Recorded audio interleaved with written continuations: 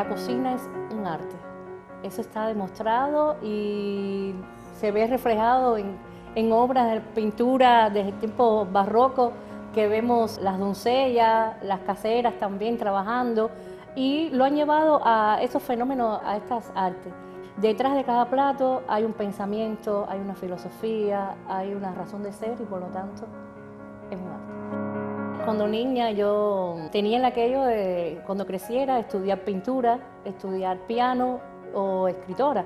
Y realmente bueno, no soy ni pianista ni escritora, ni pintora, pero lo llevo todo ese arte al plato. A la vez que uno salsea un plato, a la vez que uno trabaja o coquetea con las texturas, con los ingredientes, entonces ya indiscutiblemente estás haciendo arte. ¿Qué pasa con las recetas que yo elaboro? Me recreo en los gustos de mi infancia, me recreo en las recetas tradicionales y ahí un poco empiezo a fantasear.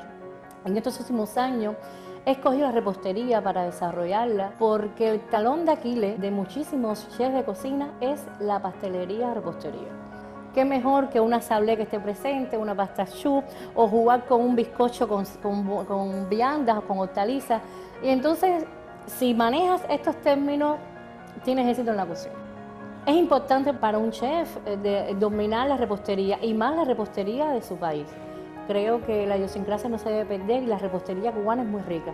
El mayor secreto, creo, y todos los chefs lo dicen, y no, no es por gusto, es el amor y el deseo que te levantas cada día de poder crear algo diferente, eh, algo nuevo.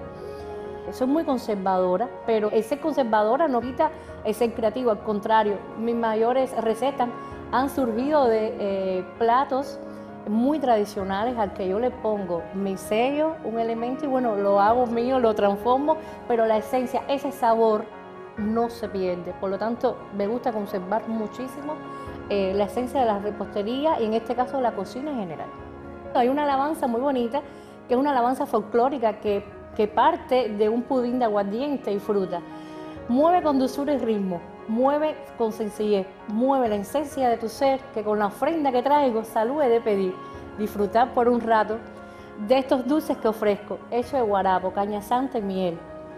Pero dime para dónde ir para yo poder seguir moviéndome con cadencia, llevando en mi cabeza enseñanza y sabiduría para que quiera hija mía postres consumir. Creo que sí, que la juventud necesita eso. Cosas sanas, pero cosas vivas.